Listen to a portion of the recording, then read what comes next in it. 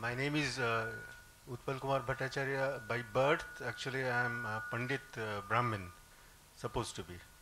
But I, I, am actually uh, a disbeliever of any religion. So I also uh, want to know whether I am doing the correct thing or not. But I have, uh, uh, I have read an abridged uh, version of uh, Quran in English, and I have been gifted by this society the full version, which I am going through right now.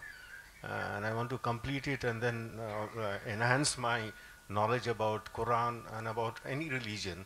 So, and by birth I, I, am a Brahmin, but I am an atheist. I don't believe in any religion.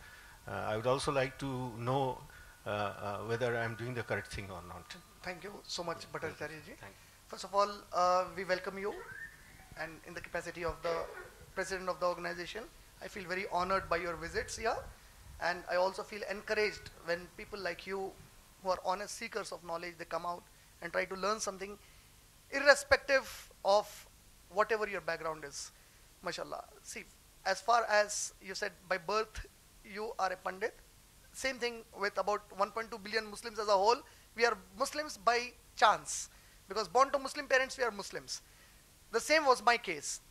When I studied in my school and my college, majority of my friends were Hindus. Still, I have a very close relationship with a lot of my Hindu friends back from my school time. They are in very good rapport with me, very good touch with me. I share relationship with them. And on my capacity, I try to sometimes introduce them in the best manner. Uh, Islam, that is my primary mission now. So now when I also lived and studied with them, even my imagination for a time being was like, okay, all religions, we should respect them and see, let me not say anything wrong or anything uh, judgmentally about something. And then slowly I started making research on religions, comparative religion I started. And then with the passing of time from the guidance from Allah subhanahu wa ta'ala, a perfect guidance from Allah subhanahu wa ta'ala. See, as a Muslim, I had the belief, yes, Allah is the only God, that part. But that intensive belief was lacking because I was lacking in knowledge. Knowledge is power. Knowledge is the strength. It guides you to the right way, mashallah. So then when I started studying Quran and comparative religion, I started to come across so many things which made me believe that no religion is right except Islam. People may think I am judgmental, but when I studied, I found out, for example, any subject that you want to study, you have a textbook of the subject. To understand it subject, you look at the textbook. You do not look at the professors and the students because professor and a student can make a mistake, they can make, a, make an error.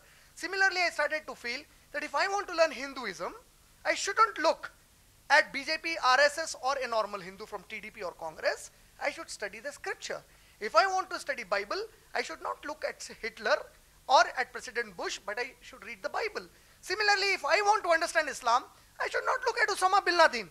I should try to read the Quran and the life of Prophet Muhammad. Now, when I started doing that, the very first thing that struck to my mind was, no scripture except the Quran, it claims that it is a word from Almighty God. People claim about, see, tomorrow somebody stands up to say Constitution of India is a revolution from God. And all Indians start believing it.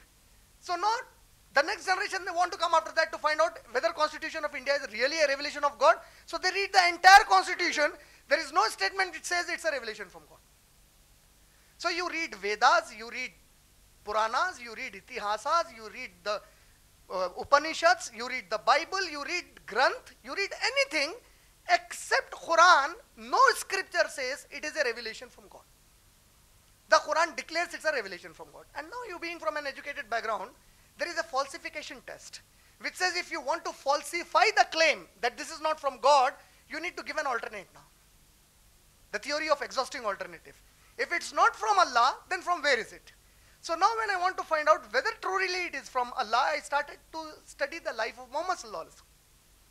Because this, he was the first person, see unanimously Muslims, non-Muslims agree, he was the first person to say that this Quran is the book of Allah.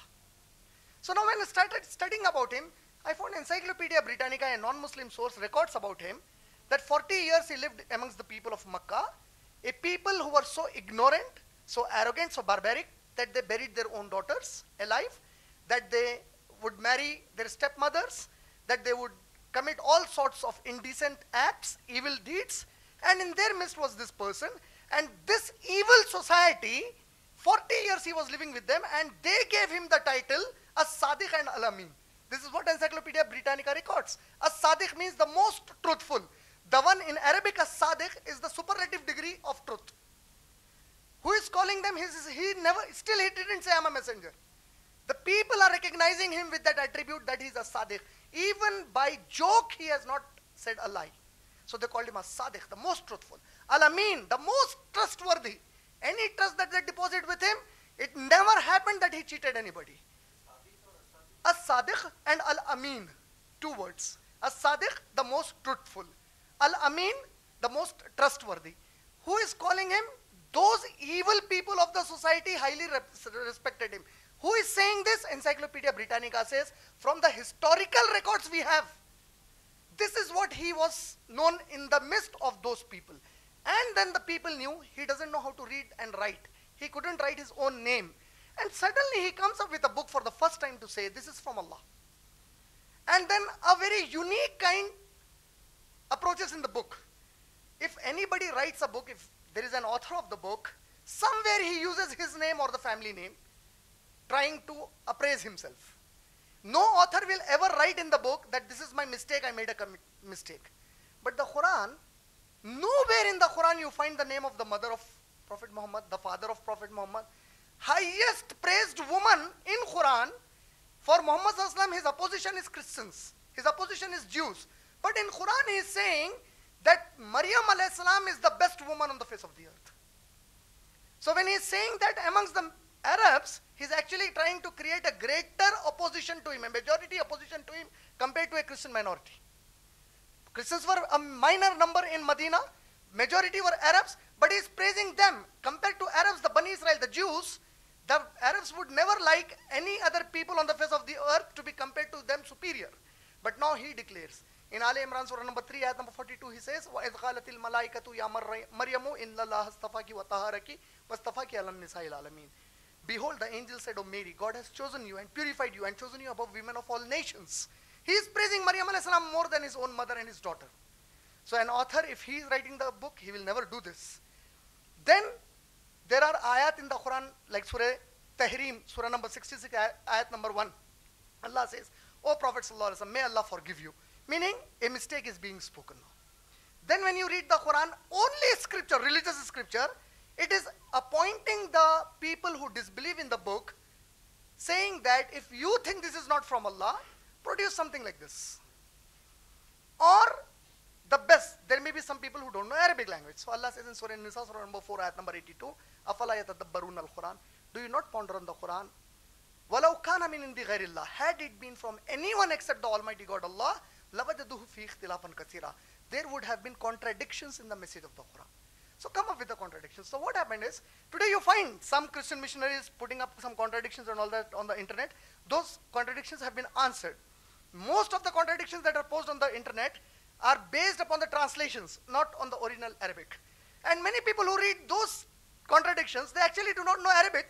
So always they just read the translation and they jump to the conclusions. So based on this, when I started studying all this, what I found is that this book is the only book that has been unchanged for 1400 years. The revelation of the Quran happened between 610 to 633 Christian era. You have copies that were written during the time of Prophet Muhammad preserved not in Muslim country, in British India Museum. And when you tally that Quran with the copy of the Quran that we have here or the copy of the Quran that our institute gifted to you, not an iota of difference comes. So how is it being preserved? Languages worldwide, they change in a hundred years altogether. You cannot read the English that you read at the time of William Shakespeare. I cannot read the Urdu that was being read at the time of Maulana Abul Kalam Azad. Just 60 years gap from independence. But the letters that Maulana Azad wrote, the Urdu he used in his letters, today the Urdu is totally different now. But today the Arabs, when they read the Quran, it is the same vocabulary carried on for 1400 years which has never happened to any other language on the face of the earth. The Quran is protecting the language. The vocabulary is the same and they understand it as the people understood during the time of Prophet Muhammad So this is a miraculous feature. The only scripture on the face of the earth memorized completely by a child less than six years to a person more than 60 years. only book which is memorized by millions whose mother tongue is not Arabic and do not understand one single word of what they are reading. But still they memorize it. So who, how is this possible? How is this happening? So then based on this, I started studying other things also. So now when I started, I wanted to understand about Ramayana. So what I found is Ramanujan, when we were in school, studying in school, there was something called 300 Ramayans by Ramanujan. Meaning there is not one Ramayana, there are 300 Ramayans. Now you go to Malaysia and Indonesia, maybe you find a different version of Ramayana. In India, in North India and South India, you may have a different version. But Quran, the Arabic part, translations it may be different. The Arabic part, there is only one single version. With Bible, the Catholics read a book with 73 books. The Protestant with 66 books. So this is version. But entire Muslim Ummah, only 114 surahs. From Surah Fatiha to Surah Nas. How is it happening? Who is doing it? And how is it so challengingly announcing openly where Allah says in Surah Hijr, Surah number 15, ayat number 9, Inna nahnu nazzalna dhikra wa inna lahu lahafizun. Most certainly we revealed it to you and we shall protect this message. So all these things brought to my mind that this is not possible to happen by one human being. How is it that so many people came, but they couldn't change the world the way Prophet Muhammad did it in 23 years? The people who are totally looked down upon, Alexander doesn't rule the Arabs because he says worthless people. Julius Caesar doesn't rule them, worthless people. Civilizations standing at two ends of Arabia. One is the Roman civilization, one is the Persian civilization. 2000 and plus years civilization. A community worthless to be ruled, has nothing in history for them. Prophet Muhammad comes with this message. 140,000 Sahaba believe in him, and two greatest powers collapse and they become Muslim. How can it be possible? Encyclopedia Britannica calls the Islamic Revolution as the greatest revolution. Why?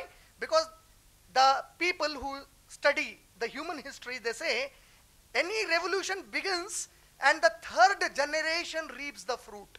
Islamic revolution is the only revolution. Forget the third generation. In 23 years, the world changed forever. So this cannot happen without there is someone who is the creator and guiding a force, a guiding force behind. And then to happen with a person 40 years already of his age, known to the people who doesn't know how to read and write, produces something so powerful academically that even today it remains unchallenged. So yes, when you say there are no religions, I agree there are no religions except Islam. That is one step if you go closer, inshallah, you're absolutely correct. You're correct to that level, you're just one step behind. Two third, you are correct and in compatibility with Islam. Inshallah, one third, I hope Allah subhanahu wa ta'ala will help you to become a Muslim. I know we are getting a little late for Salah, but I wanted to share one very small incident, very quick, because that will open our heart, inshallah, to understand how important dawah is. A sheikh, he was giving a talk and he said, I was leaving for my talk, and suddenly a woman, a woman from Russian, a Russian side, Muslim woman, without hijab, not wearing normal, modest clothes, she suddenly comes to this imam of the masjid and she says, Sheikh, I have to pay zakat. And this is my husband. He is a Christian. And I want to pay zakat to him to help him. Uh, please tell me how do I do that? The Sheikh said, wait, wait, wait, wait. What did you say? He's a non-Muslim?